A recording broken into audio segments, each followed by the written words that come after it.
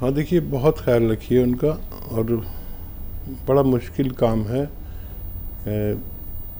इसका ठीक होना और चर्बी वगैरह तो सब छोड़ ही दी होगी आपने, कोई भी चिकनी चीज़ छोड़ दीजिए, उससे भी आदमी को बहुत फ़ायदा होता है।